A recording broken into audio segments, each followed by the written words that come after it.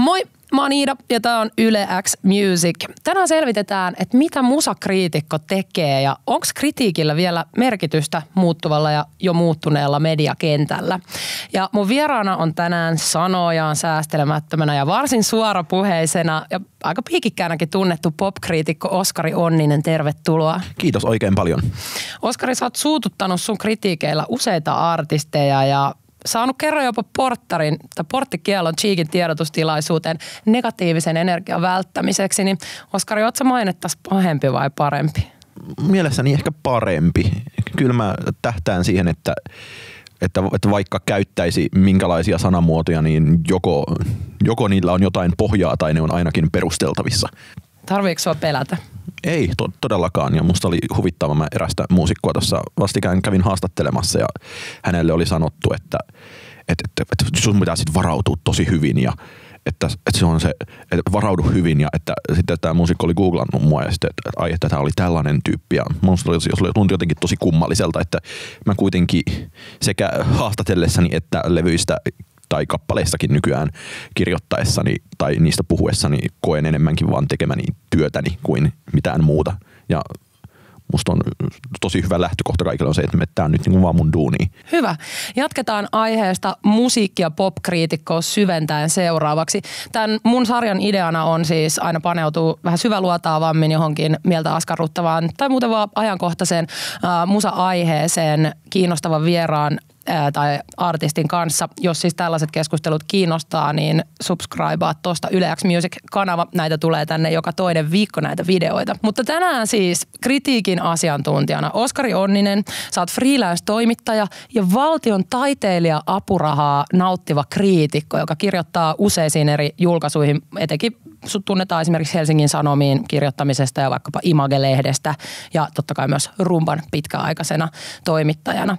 Mutta aloitetaan siitä, että mitä musakriitikko siis oikeastaan tekee? No se on ihan selvää, että ainakin siis levy ja biisi, ylipäätänsä musajulkaisuarvioita ja keikka-arvioita. Mitä muuta sun työkuvaan Mun mielestä oleellisempi asia jopa jonkin aikaa kuin nämä varsinaiset arviot on ollut y, niin kuin yleinen analyysi. Et mä, mä yritän tavallaan suhtautua popmusiikkiin samalla tavalla. Tämä, tämä voi kuulostaa rajulta tämä vertaus, mutta mä, mä niin kuin koen tekeväni samaa työtä kuin mitä niin kuin vaikka politiikan toimittajat tekee politiikalle. Että mä, mun tavoite on lähe, saada tällainen lähestymistapa popmusiikkiin ja popkulttuuriin. Yleensä monessa mielessä se kulttuuri siinä on niin kuin oleellisempi asia ja mä oon usein sanonut, että levyissä nykyään kyllä varsinkin kun kriitikko ei enää suosittele sinänsä musiikkia tai kerro miltä se kuulostaa, että joku voi mennä ostaa levykaupassa sitten levyn ja saada sillä niin jotain, mitä on ehkä halunnut tai mistä on kuullut, niin enemmänkin oleellista on ollut kertoa sitä, mitä sen musiikin ympärillä on.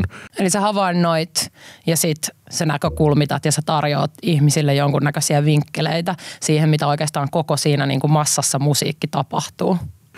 Just näin, ja mun mielestä niin kun puhutaan sitten niin yksittäisen levyn vaikka arvioinnista, niin siinä hyvä peruslähtökohta on se, että mä yritän keksiä siitä jotain sellaista sanottavaa, mitä A, kukaan muu ei ole vielä sanonut, ja niin kun B, joka voisi tarjota siihen levyyn jonkinlaisia uusia tulokulmia.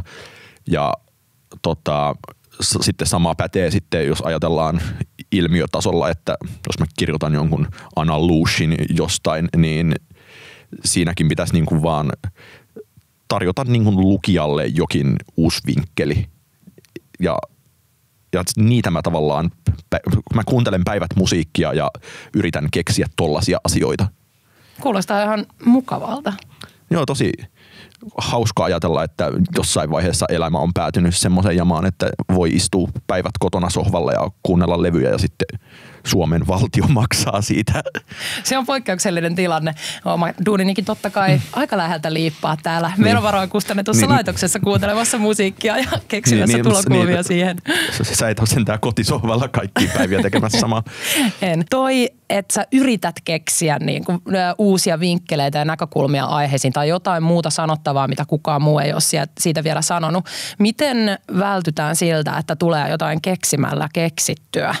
Onko joskus sellaisia tilanteita, että ei vaan löydä ei muuta sanottavaa? Tuu, niin kuin, ei, ei asiat puristamalla, vaan tietenkin on, että välillä niin sanotusti lähtee huonommin ja välillä paremmin, mutta se, että kun mä oon kuitenkin, mä olen siis tehnyt tätä jo niin kuin yli kymmenen vuotta ja musta tuntui siltä, että joskus niin kuin siinä viiden vuoden kohdalla alkoi olla sellainen käsitys, että nyt mä ehkä tiedän vähän mihin pyrkii. Nyt mulla on ehkä jonkinlainen käsitys siitä, mikä popkritiikissä on mun mielestä hyvää, niin kyllä siihen on, siihen on tullut niinku sellainen tietynlainen no, professionalismi tai rutiini, että kyllä kaikesta keksii yleensä jotain ja et eri asia on sitten, että et onko niinku jotain keksimällä keksittyjä sanamuotoja tai vastaavia, niin niistä toivottavasti on myös vuosien varrella päässyt jossain määrin eroon. Tämä on just kiinnostaa, että totta kai niin kuin, että mikä e-, erottaa ns. Niin kuin jokaisen meistä, joilla on mahdollisuus muodostaa mielipide jostain kuulemastaan ja sitten kriitikon, että mitä se on se sulle se professionalismi tässä. Että et jos lähdet tekemään kritiikkiä, jos nyt ajatellaan ihmistä, joka ei ole tehnyt sitä noin pitkään ammatikseen kuin sinä, niin millaisia asioita sä lähdet tarkastelemaan kritiikkiä tehdessäsi? Se prosessi on oikeastaan aika intuitiivinen, että mä just puhuin vastikään niin kuin yhden kaverin kanssa vaikka tästä niin kuin JVGn ikuinen vappubiisistä, niin siitä oli tosi helppo niin kuin jakaa sitä sellaisiin niin kuin dikotomioihin, että, että joo, että, että tämä nyt kuulostaa tosi hitiltä, että se on ihan ilmiselvää, mutta sitten, että onko tämä nyt kuitenkin vähän helppo, että, että niin kuin tehty varman päälle hittiä tai niin kuin osuu niin kuin tietynlaiseen suomalaiseen hermoon. Ja että et olisinko mä halunnut, että tämä biisi olisi ollut jotenkin tavoitellut jotain vaikeampaa tai enemmän tai niin kuin nostanut oman rimansa korkeammalle, mutta samaan aikaan, että, että se rimahan oli tosi korkealla myös sit siinä mielessä, että pystytään tekemään biisi, josta kuulee sekunnissa, että tästä tulee niin kuin aivan niin kuin valtava hitti. Ja että et, et kaikki niin kuin hyvyys, hyvyys ja huonous on tosi huono vastakkainasettelu, mutta sitten yksittäisestäkin biisistä pystyy löytämään suunnattoman määrän kaikenlaisia muita vastakkainasetteluita ja, ja, ja on musta vähän hölmöä myös toisaalta sitoutua johonkin niin vastakkainasettelun etsimiseen, mutta semmoisia akseleita, että millä niitä voi arvottaa ja millä niitä voi analysoida, niitä löytää ihan suunnattoman paljon. Ja sitten kyse on niin kuin siitä, että mitä niistä haluaa milloinkin painottaa. Pystytkö sä kuuntelemaan tai kokemaan enää musiikkia esimerkiksi keikoilla lainkaan sitä niin kuin arvioimatta? Mä oon tänään menossa kuuntelemaan Temppeliaukion kirkkoon tämmöistä ruotsalaista urkusäveltäjää kuin Ellen Arkbro ja sitten kanadalaista Sarah Davacia. Ja ne soittaa niin varmaan tunnin keikat, joiden aikana ei tapahdu juuri mitään, niin mun pitäisi, mä, mä oon luvannut vähän siitä kirjoittaa, mutta kyllä mä pystyn niin tollasta musiikkia, niin kuin dronea ja ambienttia tollasta, joka on tehtykin oikeastaan sellaiseen, että sitä ei kuunnella analysoiden, niin semmoista pystyy, sit mä olin eilen kuunteleen Radion sinfoniaorkesteria, niin sitäkin niin klassista on myös aika hyvä kuunnella silleen, että ei hirveästi analysoi. Mun on vaikea ajatella, että mä myöskään niin vaikka lukisin mitään analysoimatta. Että ei se, mm. et en mä pidä se niin ongelmana, että kö, mus, mä kuuntelen musiikkia silleen, että mulla on siihen niin kuin, mä pystyn hyvin äkkiä heittämään siitä jonkun niin kuin hot takein Kyllä, ja ehkä toikin tietyllä tavalla alvivaa just sitä, että se niin kuin hyvyys tai huonous tai se, että tykkääkö jostain vai eikö tykkää, ei välttämättä ole millään tavalla sitten taas kis- kytköksissä siihen, että miten jollain tietyllä asteikolla sitä musiikkia voidaan ehkä arvioida tai arvottaa. Se ei tietenkään ole toissijaista, pidänkö mä jostain itse vai enkö pidä, mutta kyllä mä koen, että niin kuin monessa mielessä mun tehtävä kriitikkona on varsinkin tähtien avulla pyrkiä antamaan sellainen suositus siitä, että, että tähdet ei välttämättä aina vastaa mun omaa subjektiivista mielipidettä. Et, et, et mä voin antaa, olen monta kertaa antanutkin omasta mielestäni kolmen tähden levylle neljä tähteä tai sitten niin toisinpäin. Että, että se on ikään kuin, mä pyrin olemaan tähtien tasolla objektiivinen ja sitten muuten teksti on tietenkin subjektiivista ja kun se on mielipiteellinen kirjoitus, niin et, et mun mielestä on ollut tosi vapauttavaa löytää toi tasapaino tai niin kuin se, että on, että on oikeastaan kaksi työkalua käytössä, joilla, joista toinen edustaa toista asiaa ja toinen edustaa toista asiaa. Mm, kiinnostavaa. Ja sitten kun säkin kirjoitat eri instansseihin, niin tota, teetkö sä kohderyhmän mielessä sun kritiikkejä joskus. Että, et koska musta tuntuu, että ainakin mun yleisöille välillä joku, tiedätkö, jonkun popparin uutuus saattaa olla tosi eri tavalla merkittävä tai ehkä eri tavalla hyvä kuin sitten vaikka jollekin vähän vanhemmalle kohderyhmälle. En tiedä, vaikuttaako sulla niin kuin ajateltu Helsingin Sanomien lukijakunta vaikka tai, tai Imagelehden lukijakunta siihen, millä tavalla sä arvotat jotain? Ei se vaikuta, mutta se vaikuttaa tietenkin tekstin tasolla sen verran, että pitää tiedostaa se, että ketkä lukee, että kuinka paljon pitää selittää jotain asiaa. Ja että kun mä tar- sit vaikka tarjoan Hesariin levyjä, joita mä arvioisin, tai lähtökohta on se, että tämän pitää olla kulttuurisesti niin tärkeä levy, että tälle kannattaa uhrata, uhrata se palstatila, mikä siellä on, koska se on kuitenkin niin rajallinen määrä, mitä vaikka vuodessa levyjä Hesarissa ylipäänsä arvioidaan. Ja että siinä pitää lähteä tämmöisen niin tärkeyden kautta ja se on tosi vastakkaista sille, kun vielä jossain vaiheessa tuntui, että kun Suomessa oli musiikkilehtiä, niin että kaikki tavallaan arvioi kaikki levyt, niin nyt se on tosi eri maailma ja nyt se on enemmänkin, että pitää käyttää jonkinlaista journalistista harkintaa sen suhteen, että mikä on niin tärkeää, että se kannattaa edes arvioida. Mm. Ja tämä sitten toki niin kuin johtaa usein siihen, että, että kaikki on kolme ja neljän tähden levyjä ja no niin sit vaan käy. Ja se on tavallaan harmi, koska se skaala ja ne tähdet on yleensä mun mielestä niin kun, ne on sitä varten, että niitä kaikkia käytettäisiin. Mutta sitten voidaan, se on ihan oma, oma keskustelunsa, että kuinka tarpeellisia ne olisi tässä ajassa, mutta mä oon itse ratkaissut tämän nimenomaan sitä kautta, että, että ne tähdet on mulle se niin kuin lainausmerkeissä objektiivinen työkalu. Kiinnostavaa. Eli sinänsähän niin kuin tämän pohjalta kritiikin aiheeksi pääsemisen pitäisi olla artistille eräänlainen työvoitto jo nykyään. Joo, ehdottomasti kyllä. Tuntuu, että kaikki eivät välttämättä ihan siihen kuitenkaan täysin noin suhtaudu, vaan vähän pelon sekaisin tunteen. Siltikin saatetaan odottaa sitä tähtiluokitusta ja kirjoitusta. Mä en ole ainakaan ehkä, ehkä ajatellut sitä noin, että, että, että tai törmännyt siihen, että välttämättä kaikki ajattelisi sen niin, että jes, mut on arvioitu, vaan jes, mut on arvioitu hyvin, tai oh no, mä oon saanut huonon arvion. Mun mielestä sillä ei ole niinku, musta on jännittävää, että se on niin ehkä vanhanaikainen ajatus, että jotenkin tähtimäärillä olisi enää merkitystä, että, että varmasti siinä kulttuurissa, jossa ei ollut ensin jotain niin kuin Napstereita ja torrentteja ja sitten Spotifyta – jolloin niin kuin ihmiset kävi ostamassa levyjä levykaupasta, niin silloin se, että jossain niin kuin lehdessä sulle annettiin neljä tai viisi tähteä, niin silloin se merkitsi nyt sellainen painoarvo, että mä pystyisin oikeasti suosittelemaan jotain asiaa tai niin kuin tekemään niin kuin itse jostain asiasta ison, niin ei semmoista ole yhtään. Ja samaan aikaan myös ää, varsinkin isompien artistien kohdalla, niin mun mielestä on niin kuin ihan yksi ja sama niiden niin kuin menestyksen kannalta, että annetaanko Helsingin Sanomissa levylle kaksi vai neljä tähteä. Kyllä. Ja tota, miten tämmöinen musiikkikriitikon pätevyys sitten saavutetaan? Se on päivän selvää ja, ja make sense, että pitää olla se tuntemus ympäröivästä ja vähän historiasta, ehkä vähän jotain aavistuksia tulevaisuudestakin ja ennen kaikkea nykytilanne jollain tavalla hallussa. Niin miten, miten tällaisen musiikkikriitikon pätevyyden saa? Hirveän eri taustaiset ihmiset tekee kyllä kritiikkejä, mutta, mutta se kiinnostaa, että kenellä niin kun tulee oikeus ja mandaatti sanoa mitä ja mistäkin. Miten sä itse näet? No Suomessa on ollut tosi matalat mandaatit oikeastaan, että joku e-, eilen lopettamisilmoituksensa antanut rumbalehti, niin sinne mä pääsin 17-vuotiaana kirjoittamaan, kun mä kysyin, että niin kuin kiinnostaisi, että pääseekö. Ja samanlaisia tarinoita on niin kuin lukuisilla mun kriitikkotutuilla, että kaikki on niin kuin omasta intressistä päätyneet johonkin tollaiseen lehteen ja sitten niin kuin pien, pieneen ja erikoislehteen ja sitten sitä kautta ehkä edenneet erilaisiin asemiin.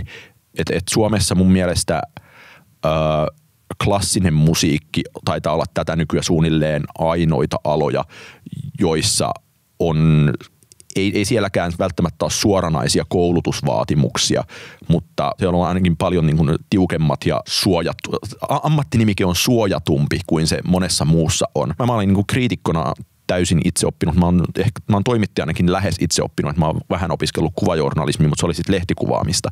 Niin että se, mitä, mitä mä olen tehnyt, niin mä oon kuunnellut niin kauan kuin mä muistan niin, kuin niin paljon musiikkia kuin mä muistan ja, ja niin kuin nyt viimeiset sanotaan vähän yli kymmenen vuotta niin kuin pyrkinyt kuuntelemaan kaiken itseäni kiinnostavan uuden musiikin ja sitä on niin paljon ja mä pidän siitä sen vuoksi kaikenlaisia kirjanpitoja, että mä oon kartalla siitä, että mitä mä oon kuunnellut missäkin määrin, niin se, että, että sanotaan niin, että vuoden niin kuin 2005 jälkeen niin se on ollut ehkä 120-170 uuteen levyyn, joita mä olen kuunnellut sen vähintään noin kolme kertaa. Ja sitten siihen päälle ne, joita mä en ole kuunnellut joka vuoden niin kuin uusista levyistä, niin sitä tekisi muutenkin ja siitä on tullut silleen niin kuin tietynlainen elämäntapa, jonka sitten pystyy kanavoimaan työksi tai vähintään niin osaksi niin kuin koko työnkuvaa. Kyllä, ja mikäpä se mukavampaa kuin jakaa niitä ajatuksia muiden entusiastien kanssa. Tai vaikka ihmistenkin, jotka ei ihan samalla intensiteetillä siihen suhtaudu. Niin, mun mielestä Hufvudstadsbladetissa oli vastikään hyvä kirjoitus siitä, että, että, että kriitikkous on aika silleen mytologisoitua, että että että voisi ajatella sitä, että et, et samaan aikaan, vaikka mulle esimerkiksi on itse kriitikkona ja niin kuin sen vuoksi niin kuin hyvin intohimoisena kaikkien alojen kritiikin lukijana, niin tärkeää se, että et mulle välittyy olo, että niin kuin toi, toi kriitikko on nyt paljon fiksumpi kuin mä itse olen, että sillä on jotain niin kuin tolkullista sanottavaa tästä. Ja sen vuoksi mä toivoisin, niin kuin, että tai mulla on sellainen siinä mielessä vähän tällainen niin elitistinen toivekin siitä, että mitä mä itse kritiikiltä haluan, niin mä, ja mä, uskon, mä uskon myös, että tosi monella muulla ihmisellä on samanlainen toive, että he toivovat, että kriitikko on fiksumpia kuin hän itse, jolloin sitten voidaan miettiä, että niin kuin, mikä on vaan se niin kuin normaali taso siitä. Mutta tässä kirjoituksessa muistutettiin, että se, että ihmiset puhuu jossain työpaikan kahvikoneella jostain eilen näkemästään leffasta, niin siinä on kyse ihan samasta asiasta ja siinä mielessä niin kuin, tämä niin ammattikriitikkous on sinänsä vähän niin kuin mytologisoitu ja jotain niin kuin pelottavaa ja kummaa, koska kaikki me puhutaan koke- kuluttamastamme kulttuurista tosi koko ajan. Mm. Mun mielestä tämä oli erittäin hyvä. Sä kirjoitit Nuori Voima-lehdessä just viime vuoden syksyllä ää, tästä sun omasta ammatista kriitikkona ja, ja tota, se havainto siitä, että, että mitä sanoit tässäkin keskustelussa jo aikaisemmin, että teosta oleellisempi on ne asiat siinä ympärillä ja, ja niiden taas ää, niin kuin esille tuominen, sä kirjoitit, että ne on pohjimmiltaan hyvin journalistisia kysymyksiä ja toisin sanoen tässä sä tuut siihen conclusionin, että kriitikko on aina ensisijassa journalisti. Eli ehkä semmoinen niin kuin mytologinen kriitikko, sen ammatin ymmärtäminen enemmänkin sille, että sä oot niin kuin nimenomaan toimittaja, joka tarkastelee asioita jonkun asian ympärillä, on sen tämän homman ydin. Joo, ja tässä on Suomessa varsinkin, tai no en, en tietenkään voi sanoa erityisen hyvin tuntevani monia muita niin kuin kulttuureja ja muita, muiden maiden kulttuurikenttiä, mutta Suomessa on selkeä jako sen välillä, että on selkeästi kriitikoita, joille, jotka kokee olevansa tavallaan niin kuin jonkinlaisia viestintuojia sieltä niin kuin taiteen kentältä, eikä niin kuin, niin kuin toimittajia tai suod, niin kuin kriittisiä suodattimia siinä välissä. Mä oon aina kriitikkona ensisijassa lukijan asialla, enkä niin kuin taiteen tekijän asialla ja tämä myös unohtuu taiteen tekijöitä tosi usein. Mm. Sama ollaan pohdittu täällä meilläkin viime aikoina. Sä tota, puhut itsestäsi popkriitikkona. Mitä eroa on musiikkikriitikolla ja popkriitikolla? Popkriitikkous on sitä, että mun pitää ymmärtää se kokonainen, että se keskittyy suurilta osin siihen ympäröivään kulttuuriin, eikä siihen, niin kuin, että mä olisin erityisen kiinnostunut siitä, että millaisia harmonioita jossain kitarasuoloissa vaikka on. Ja semmoiseen että oon mä nyt musiikin teoriaa joskus Heinolan musiikkiopistossa käynyt ja on mulla niin kuin jonkinlainen ymmärrys siitä, miten musiikki paperilla toimii ja osaan mä lukea nuotteja ja kaikkea tollasta, mutta se, että mut laitettaisiin niin analysoimaan niin kuin jotain rakenteita tai sointukulkuja, niin mä alan olla niin kuin vähän vierailla vesillä, niin, ja sillekin on joskus tarpeensa, ja esimerkiksi joskus kauan sitten Hesarissa oli tällainen palsta, jos muistaakseni nimi oli olisiko se nimi voinut olla niin hitin anatomia, jossa nimenomaan selitettiin, että tässä nyt on tämä ja tämä sointukulku, jota on käytetty täällä ja täällä ja sen vuoksi niin kuin suomalaiset, suomalaisten on helppo mieltyä siihen. Ja et, et niin kuin sen voi sanoa noin, tai sitten sen voi sanoa silleen, että tässä nyt on niin kuin tosi paljon samaa kuin vaikka Levi and the joka on sitten taas niin suomalaisten sydänveressä kiinni, että se aiheuttaa kaikenlaisia lämpimiä tunteita siksi. Nyt ollaan puhuttu paljon siitä, että miten tehdä kritiikkiä ja mistä kritiikki voi muodostua ja miten tehdä hyvä kritiikki, mutta puhutaan seuraavaksi kritiikin vastaanottamisesta, koska se on to, niin kuin ehkä jopa vielä tietyllä tavalla merkittävämmässä roolissa kuin se kritiikin tekeminen itse.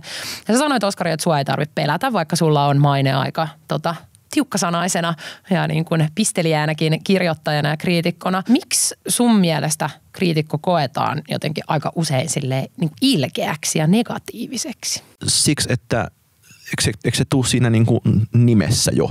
Että, niin. että kyse on siitä, että, että, että sen tehtävä on esittää kritiikkiä ja jos sille kritiikille on tarvetta. Ja se, että moni ehkä kokee myös, että niin kuin kriitikon tehtävä olisi antaa musiikin tekijälle palautetta, mikä on mun mielestä tosi raivostuttava väärin ymmärrys kaikesta. Ja sitten, että kun jos se palaute, se luetaan palautteena ja sitten se palaute on jollain tapaa niin kuin harsh, niin kuin karkeaa tai siellä on joku niin kuin raju vertaus tai yleistä niin kuin kielellistä hassuttelua, mikä on, pohja, on pohjaa sellaisen niin kuin brittiläiseen musiikki- ja popjournalismiperinteeseen, niin sitten se voi niin kuin mennä sen vuoksi lainausmerkeissä ihon alle.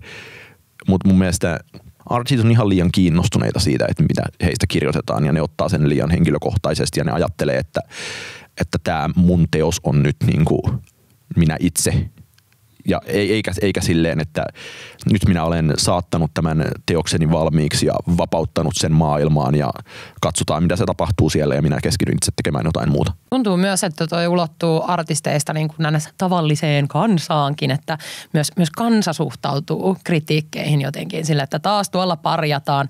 Sä oot ainakin ollut esimerkiksi Saara Aaltoon kohdistuneista kirjoituksista muistaakseni vähän tämmöisessä, niin kuin, että miksi tuolla kriitikko parjaa nyt artistia, joka ja, yrittää. Ja Aallon kohdalla en mä ole taida kritiikki. Mä oon arvioinut kyllä ne itse asiassa viime Euroviisubiisit, mutta mun mielestä se oli niin kuin enemmän tällainen hyvin tavallinen niin kuin kulttuurijournalistinen analyysi, minkä taisin joskus kirjoittaa. Ja niin kuin, tähän liittyy paljon se sellainen yleinen ja niin kuin yhteiskunnan tasolla paljon laajempi ilmapiiri siitä, että ihmiselle on hirvittävän tärkeää se, että että, mit, mitä niin kuin, että heidän mielipiteitään kunnioitetaan. Siitä on niin kuin, aivan niin kuin ällistyttävä tutkimustulos viime syksyllä, kun tutkittiin suomalaisia identiteettejä, että jonka mukaan alle 30-vuotiaista melkein kolmanneksen mielestä heidän oma mielipiteensä edustaa heille jotain pyhää.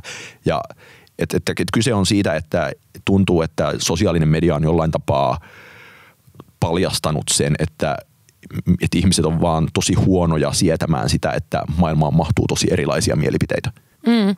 Mutta voihan kritiikki olla positiivinenkin. Tai eihän sen aina tarvitse olla niin kuin kritiikkiä. Parastahan tässä koko asiassa on se, että kun jaksaa ja pystyy ja jatkuvasti innostuu kaikenlaisista jutuista ja et, et hirveästi ja aina kaikki tuntuu ajattelevan, että et niinku, että kriitikot nauttii siitä, että pääsee mm. vasaroimaan ja lyömään ja raapimaan ja repimään. Ja jo myönnän, että niin kuin se mahdollistaa tavallaan kirjallisessa mielessä ehkä kaikkein niin kuin rajuimmat revittelyt ja niin kuin hauskimmat jutut. Paljon kivempaa on kuitenkin se, että että nyt kun minä kuuntelen nämä 170 levyä vuodessa, niin sitten mä löydän täältä jotain ja pystyn sanomaan, että, että, että tämä on hyvä juttu. Tai nykyään se on enemmän sit vielä sitä, että mä kuuntelen jotain levyä, että mulle tulee, tulee sellainen olo, että, että nyt mä oon keksinyt jotain, mihin tämä liittyy. Mä py, mulla on niin kuin jonkinlainen omasta mielestäni ainakin tosi hyvä pointti liittyen tähän tiettyyn levyyn tai kappaleeseen tai vastaavaan. Ja sitten sen niin kuin pystyy sanallistamaan ja artikuloimaan, että se työn kuva on nimenomaan tällaisen asioiden artikuloimisessa. Tai, tai vaikka se, mä voin käyttää esimerkkinä, että kun toi Alman Cowboy ilmestyi, niin mä kuuntelin sen ensin ja sitten mä kuuntelin sitä lisää ja sitten se jäi niinku, mua jäi jokin asia riivaamaan siinä. Ja meni ehkä päivä, kunnes mä tajusin, että siinä on niinku kertosäkeessä hyvin, hyvin pitkälle samat, käytetään samoja säveliä kuin vanhassa kunnon hummaniheissä. Ja sitten tietenkin, että niinku, et jahas, hummanihei, cowboy ja niinku, että kaikki palat jotenkin loksahti kohdalleen ja toi on niinku sellaisia asioita, mitä, mistä niinku itse saa kiksejä. Tietenkin sen lisäksi, että voi niinku kikkailla sanoilla. Selvisikö koskaan itse artistilta, että onko tämä sun löytävä yhteys niin paikkaansa pitävä? En ole tietoinen tämmöisestä mutta mun mielestä jotenkin mä näen sen silmä, sieluni silmin sen kuvion, että siellä ollaan oltu biisileirillä jossain Amerikassa ja sitten tuottaja on ollut silleen, että niinku, et, et mieti joku niinku mahdollisimman suomalaisen kuulonen biisi ja niinku laula sitä ja niinku, sitten tämä olisi niinku ehkä, ehkä hummani ei olisi siellä laulettu silloin ja sitten niinku siitä oltaisiin lähdetty niinku veistämään jotain uutta. Täytyy selvittää tämä Almalta ehdottomasti. Mä kysyn seuraavan kerran, kun me treffataan sen kanssa. Voisi ajatella, tai ei voi välttää ehkä sitä ajatusta, että raflaavilla otsikoilla ja provosoivilla näkökulmilla, vaikka mä en uskokaan, että sanot, että tarkoitushakuisesti niin kuin tekisit provosoivia näkökulmia sun juttuihin, mutta voisi niin kuin ajatella varmistavansa jutun levikin. Hyödynnät sä Oskari Onninen koskaan sun tekemisessä tällaista? Sanotaan niin, että en ainakaan tietoisesti ja mä en niin kuin pidä sitä millään tapaa arvokkaana. Mä en oo, mä pyrin olemaan mahdollisimman vähän kiinnostunut siitä, että miten paljon jotain juttuja luetaan. Se, että kun mä toimin freelancerina, niin mä oon tosi mukavasti toimitusten mm. statistiikkojen ulkopuolella ja sitten mä oon myös asettanut itselleni tiukat säännöt vaikka sen suhteen, että mitä ikinä mä kirjoitan, mä jaan sen kerran Twitterissä. Mä en niin kuin promotoi sitä omissa kanavissani sen enempää, koska mä en halua olla internetissä mikään niin kuin mainosvitriini tai niin kuin sellainen niin kuin kävelevä CV. Millaista, jos olet, oletko saanut kritiikkiä Sitä sun kirjoituksistasi? Millaista palautetta? Sitä saa tosi vähän ja sitten kun en mä myöskään niin kuin periaatteesta pidä millään tapaa, tapaa mielekkään sitä, että mä kävisin lukemassa niin kuin mitään kommenttipalstoja niin kuin juttujen perästä, koska mun mielestä ei ole syytä, että niitä edes on siellä, niin sitä saa tosi vähän. Et sanotaan näin, että vähän ehkä inhottava, mutta aika totuudellinen huomio on se, että ö, mitä pahemmin sanoo jostain sellaisesta artistista, jonka oletettu yleisö on vähemmän koulutettua. Silloin palautetta tulee enemmän ja se on paljon rajumpaa. Että tota, niin kuin pahoinvointivaltion räppärit esimerkiksi on tosi sellainen skene, että sinne sorkkiin niin sitten tulee tosi paljon kaikkea. Ulkomaista poppia käsittelevistä teksteistä ei tule varmaan mitään ja sitten, tota, sitten on nämä niin kuin, jotenkin suomalainen sillä tapaa valistuneen popkuluttajan popmusiikki, niin tota, ei siitäkään niin kuin juuri tuu mitään. Sä vaikutat siltä, että se ei hirveästi sua hetkauta tulista ei, sitten ei, tai ei, ei. Eikä sen pidäkään hetkauttaa, että mä teen mun duunia ja mun duuni ei ole niin kuin, että et, et, vähän sama juttu, että, että kaikki toimittajat saa tosi paljon palautetta ja niin kuin on aina saanut ja et, et ainoa asia, mikä mua niinku masentaa, mikä mun mielestä on niinku typerää ja noloa ja kamalaa, on se, että, että tosi monet tuntuu antavan – nykyään myös niin kuin kritiikistä palautetta ensisijaisesti jotenkin niin kuin julkisesti sosiaalisen median, omien sosiaalisen median kanavien läpi. Ja, tai vastakkainasettelu ja jännite on hyvä olla olemassa, mutta tota, luodaan semmoista kummallista ilmapiiriä, jossa esiinnytään jotenkin tosi herkkänahkaisena vastaavana. Et mun mielestä niin kuin, poliitikot antaa toimittajille palautetta silleen, että ne soittaa. Ja se saattaa niin kuin huutaa sinne puhelimeen ja sitten toimittaja on silleen, että no minä tein näin ja niin kuin, tässä jutussa ei ole virheitä ja että saat olla eri mieltä ja kuunnellaan jäisesti ja sitten niinku, sit se on siinä ja tavallaan se tapahtuu siellä kulisseissa ja siitä ei tule sellaista niinku henkilökohtaista niinku jotain sosiaalisen median showta, niin so, soisin, että muusikot ottaisivat tämmöisestä niin kuin toimintatavastaan niin sanotun vaarin. Viittaat ehkä tähän yhteen tuoreeseen keissiin, kun yksi maailman isoimmista räppäreistä Pyhimys ihan hiljattain avautui omassa instassaan Jyväskylän paviljongin keikan jälkeen arviosta, joka oli tulossa, eikä sitä oltu vielä edes julkaistu. Puhutaan tästä ihan hetken päästä lisää, mutta käydään eka läpi ehkä sun uran yksi tämmöinen niin julkisesti isoimmista keisseistä, kun sulta evättiin pääsy vuonna 2013 Cheekin äm, tiedotustilaisuuteen, jossa hän siis kertoi näistä tulevista Olympiastadion konserteista, eikö näin ollutkin. Ja, ja tota, syy oli siis se, että Cheek ei halunnut lehdistötilaisuuteen negatiivista energiaa.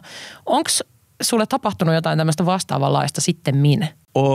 mä en muista tapahtuuko toi ennen vai jälkeen sitä, mutta äh, muistan, että toi Von Hertzen Brothersin Mikko Von Hertzeen on niin kuin, oli, oli laitettu haastattelupyyntö, että hän niin kuin henkilökohtaisesti soitti mulle.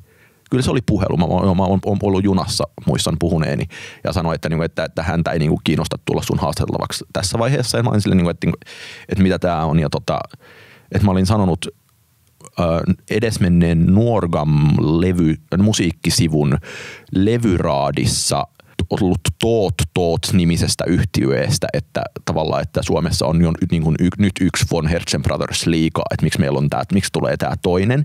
Eli Mikko Von Herzen oli siis selkeästi vaan googlannut, että mitä mä olen kirjoittanut Von Herzen Brothersista ja tältä pohjalta tehnyt johtopäätökset ja antoi sitten palautetta. Uh, mutta mun mielestä tämä niinku liittyy, tämä koko asia liittyy sellaiseen niinku laajempaan ilmiöön, että et ei niinku yhtään jos on isompi tähti, niin ei ole tarvetta enää sille, että lehdissä olisi juttuja – et siis Suomi, Suomi on nyt niinku sikäli poikkeus, että et kuukausiliitteen jutuista tuntuu siltä, että kukaan, kenellä, juuri kenelläkään ei ole varaa kieltäytyy. Joku Suomen Kuvalehti on ehkä toinen. Hesarin kulttuurisivutkin ehkä joo. Että, että niillä saavutetaan niin suuri yleisö, että niitä niinku kannattaa tehdä, mutta kun tietenkin... Ja Yle musiikkiohjelmat. No täälläkin kaikki taitaa käydä. Levyyhtiöissä tunnutaan ajattelevan niin, että, että nämä lehtijutut on vaan niin kuin osa tätä niin kuin promoa mikä suoritetaan levylle tai sinkulle tai mille ikinä silloin, kun ne tulee, niin että ne määrittää tosi paljon sitä, että millaista accessia toimittajille annetaan. Ja sitten miksi nyt antaa lehdille haastatteluja, joissa saatetaan esittää epämiellyttäviä kysymyksiä tai mitä ikinä, kun pystyy tavoittamaan sen saman yleisön jonkun oman instan läpi tosi nopeasti, tehokkaammin ja täysin omilla ehdoilla, niin tämä liittyy musta on ihan samaan, niin kuin, että, että kun halutaan toimia jotenkin alusta loppuun oman viestinnän ehdoilla ja niin kuin se, että kaikki on vaan niin kuin oman tuotteen promoomista, niin siihen kuvaan ajatus siitä, että jotain niin kuin kritiikkiä on olemassa sopii myös aika huonosti. Eikö silloin olisi voinut ajatella, että esimerkiksi Pyhimyksen olisi kokonaan kannattanut jättää omassa instassaan, jossa hänen kaikki faninsa, valtava määrä seuraajia tsekkaa, niin mainitsematta se, että Arttu Seppänen on kirjoittamassa keskisuomalaiseen arvion, jonka sisällöstä me ei tosiaan edes voitu tietää, millainen sieltä on tulossa, mutta ilmeisesti pyhimyksen oletuksen mukaan e-, ei ainakaan häntä hirveästi niin kuin suosioa arvostelu. Miksi tota, artisti sitten on, tietysti voidaan vastata hänen puolestaan, miksi hän on tämmöisen ulostulon tehnyt, mutta tästä vinkkelistä. No, mun mielestä, voidaan ajatella niin kuin ihan vanhalla kunnon kustannushyötyanalyysillä, että, että todennäköisesti ja nimenomaan nämä nyt on niin kuin ajatellaan, että tässä tapauksessa pyhimys on ollut niin kuin sataprosenttisen rationaalinen toimija, joka on miettinyt tekonsa alusta loppuun, eikä siihen liity minkäänlaisia niin kuin henkilökohtaisia tunteita tai mitä ikinä. Että et, miettinyt, että kuinka niin optimoida tämä julkisuus, niin se on ajatellut, että, että on isompi joukko ihmisiä, joiden niin kuin mielestä on, on, on mahtavaa, että, niin kuin, että, että, että idioottikriitikko, että, että ei saa haukkua meidän Mikkoa, kuin se, että, niin kuin, että niitä, joiden mielestä työ vaan niin kuin tosi noloa ja niin kuin jotenkin herkkää ja niin kuin englanniksi sanoo, voisi sanoa niin kuin needia. Mm. Arttu Seppänen kirjoitti pitkästi omassa Twitterissään tästä ja myöskin sitten vihdoin ja viimein siinä julkaistussa ää, kritiikissä keskisuomalaisessa. Musta oli myös tosi hauska, että se keskisuomalaisen kritiikki oli sitten jossain maksumuurin takana ja Mm. Enkä mä tiedä, onko niin kukaan tosiasiassa edes koskaan lukenut sitä. Minä sen olen. Mun, mä, mä olen myös lukenut sen, jos oli pastettu johonkin Facebook-kommenttiketjuun, niin tota, sitä kautta olen. Ja myös, tota, niin jatkojutun siitä, että, että tämä on kuitenkin varsin harvinaista, että artisti näin tällä tavalla ö, on yrittänyt etukäteen vaikuttaa arvioon, jonka tosin siis Pyhimys itsehän on kieltänyt. Hän muun muassa twiittasi siitä, että, että mihinkään en yrittänyt, yrittänyt vaikuttaa. Mutta mitä tämmöinen niin kuin ylipäätänsä keskustelun käyminen ja, ja tota, ulostulo, m- mitä tämä tekee kritiikille, jos artistit alkaa tehdä tämmöisiä vastaavanlaisia ulostuloja kuin no pyhimys? Mun mielestä se, se ei tee mitään, sen ei pidä tehdä mitään. Niin kuin mun mielestä myös toivoisin it, it, kriitikoilta niin kuin myös sellaista peiliin katsomista, että et, et, sama, samalla tavalla kuin, niin kuin soisin, että niin kuin artistit oppisivat jättämään kritiikit omaan arvoonsa tarvittaessa, niin samalla tavalla niin kuin, mun mielestä kriitikot voisi jättää niin kuin sen, että niin kuin joku mainitsee sut jossain instassa, niin omaan arvonsa. Ei se, se ei saa vaikuttaa sun duuniin ja et, et, et, tuollaista se nyt niin kuin journalismi välillä on. Mun mielestä niin kuin pyhimyksen tämä nimenomainen temppu oli, oli tosiaan niin kuin nolo ja vahvisti niin kuin hyvin tietynlaista kuvaa, mikä välillä on artistista välittynyt, mutta sitten samaan aikaan mä en niin kuin ymmärrä, miksi siitä tuli minkäänlainen juttu, että artisti musisoi ja tekee musiikkia ja kriitikko sitten kirjoittaa siitä ja niin kuin sitten seuraavana päivänä niin kuin kumpikaan ei suunnilleen muista enää mitään on tapahtunut. Mm.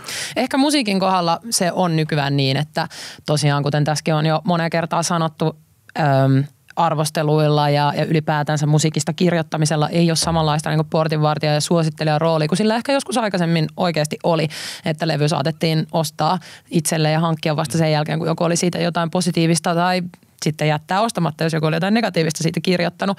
Mutta esimerkiksi käsittääkseni ravintolamaailmassa ja, leffa, anteeksi teatterimaailmassa, niin edelleen esimerkiksi Helsingin Sanomien arvostelulla saattaa olla semmoinen vaikutus, että näytös on loppuun myyty koko kevään tai että se floppaa tosi pahasti. Joo ja niin kuin elokuvissakin silleen, että se on ehkä elokuvissa eniten sellainen skene, että se on joku – joku eurooppalainen taideelokuva saa Hesarissa viisi tähteä, niin sitten saattaa yhtäkkiä olla niin kuin vuosi, että se pysyy ohjelmistossa, mm. kun kaikki käy katsomassa. Mutta mut onks... mut siellä se rajoittuu tavallaan yleensä niin. tuohon tiettyyn lajiin. Onko se oikein, että kriitikolla yhdellä ihmisellä on näin paljon valtaa arvostella joku asia ja, ja vaikuttaa näin sit siihen, että miten sillä tulee menemään.